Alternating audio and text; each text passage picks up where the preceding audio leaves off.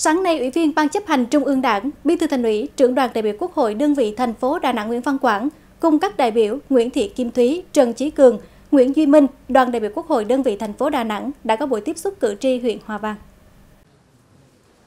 Qua nghe báo cáo đoàn đại biểu Quốc hội thành phố Đà Nẵng về kết quả kỳ họp thứ tư Quốc hội khóa 15, cử tri huyện Hòa Vang bày tỏ phấn khởi về thành công của kỳ họp lần này, cũng như đánh giá cao những đóng góp hoạt động tích cực của đoàn đại biểu Quốc hội thành phố Đà Nẵng trong thời gian qua, đồng thời kiến nghị nhiều vấn đề đến Quốc hội. Đất thì càng ngày càng hẹp, người thì càng ngày càng đông. Để việc thực hiện nếp sống văn minh trong việc tăng được đồng bộ trong cả nước, đồng thời giữ lại quỹ đất cho phát triển, tôi đề nghị các cơ quan trung ương cần ban hành nghị định về thực hiện văn minh trong việc tăng.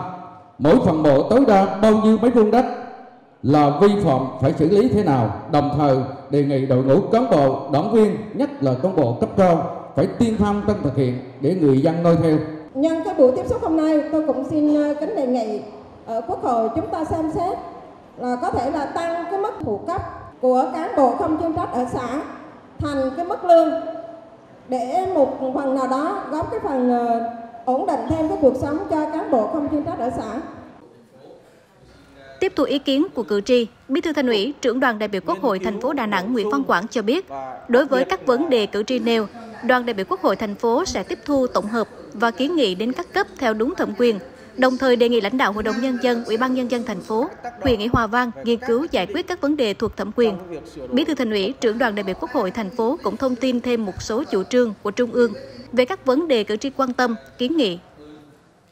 đối với chính sách của người à, cán bộ không chuyên trách ở xã phường, thôn thì à,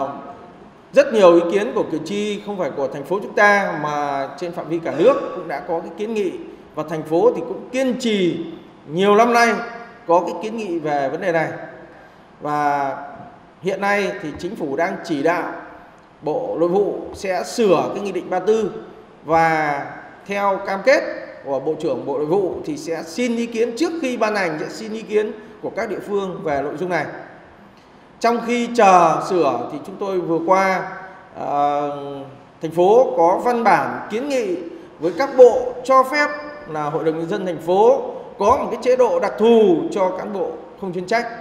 Tuy nhiên thì uh, trả lời của Bộ Nội vụ cũng như là Bộ Lao động Thương binh Xã hội rồi uh, Bộ Tài chính thì đều nói rằng là đề nghị thành phố thực hiện theo quy định pháp luật.